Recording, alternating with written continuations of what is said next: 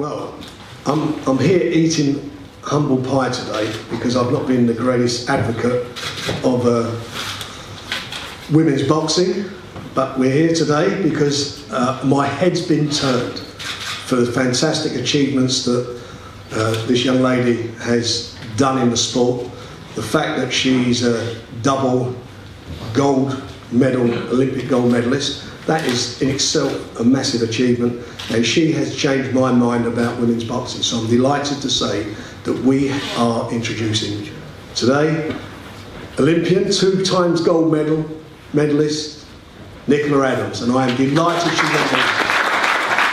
So, ladies and gentlemen, the one and only Nicola Adams, OBE, MBE, and Frank Warren's newest signing.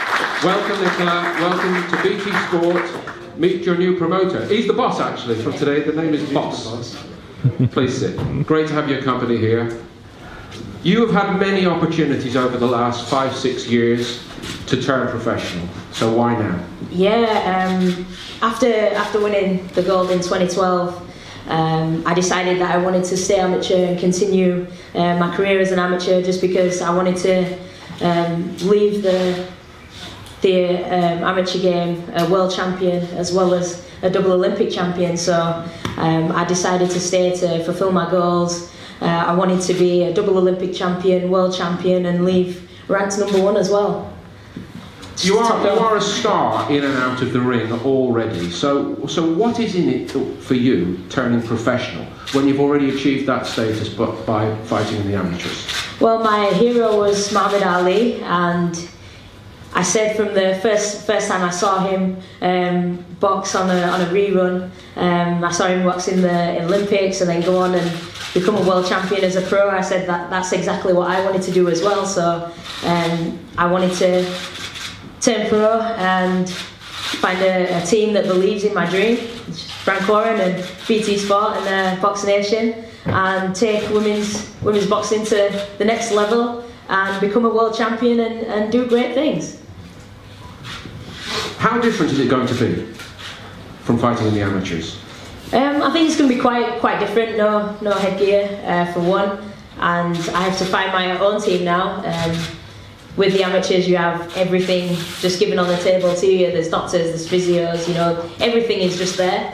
And now I have to create my own team. But I'm actually I'm really excited about doing that, having my own team, and knowing that we're all working together, we're all working to achieve the same goal, and which is to um, make me a world a world champion and take women's boxing to the to the next level.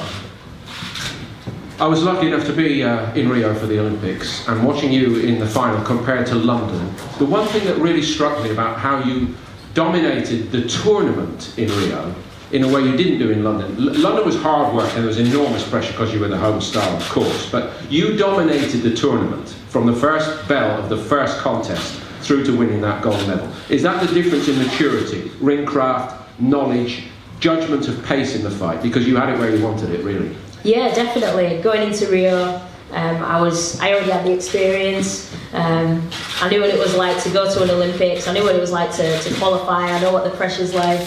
I knew who I was going to be up against. I knew it was going to be um, a lot harder this time round because I was going in ranked number one and I was the, the one to beat. But um, it gave me the, the motivation to, to train harder and to know that yeah, this is this is what I want to achieve. I want to be a, a double Olympic champion. So I, I knew when I went went into the ring that I was going to give uh, 110% um, every time. But you have that. I think going in the second time, you're you're a lot more confident just because. Um, you, you you know you know what it's about. You don't you know you don't feel as anxious like oh I've just been caught with a shot. Okay, I, I need to get this point back. I need to you know you take take your time and you're a lot more a lot more focused. I felt. That, that was very evident, I thought, at, at the time. Now, Frank, Nicola has tried to outline what she intends to try to do for you. What do you intend to do for Nicola? Well, she'll be making her debut on the 8th of April at the MEN Arena in Manchester on the same card as uh, Terry Flanagan and the two Liams. And then she'll be doing her homecoming on the 6th of May sorry, 13th of May with uh, Josh Warrington. so that's going to be a great night for Leeds. Leeds own, the two of them, two heroes. That's going to be a fantastic night. So the plans are get those fights out the way, and uh, I think that Nicola's in a, be in a position where she'll be uh, within a year, more or less, challenging for a world title. I believe she has the, the ability. Is that actually the key word for you at this stage, challenge? Because all your life, in and out of boxing, you have been challenged. You had to break down barriers and stereotypes in your personal life. Getting a, as a woman into boxing, showing that a woman can represent their country, showing that a woman can win medals, amateur, for their country. Is that what drives Nicola Adams? The next challenge? Yeah, it is. It's the it's the next next challenge. I mean, I'm sure a lot of people a lot of people here before who would have thought me and Frank would be sat on the sat up here on the same team. But you know, um, it's nice it's nice to see I've, I've been able to change his mind. And, did you uh, hurt? Did he hurt your feelings? No, no. He, he, gave, he gave me, about women in boxing. He gave me more motivation. Even even more motivation to be sat here right now next to him. And you know, who knows? We might, we might even see the softer side of Frank now.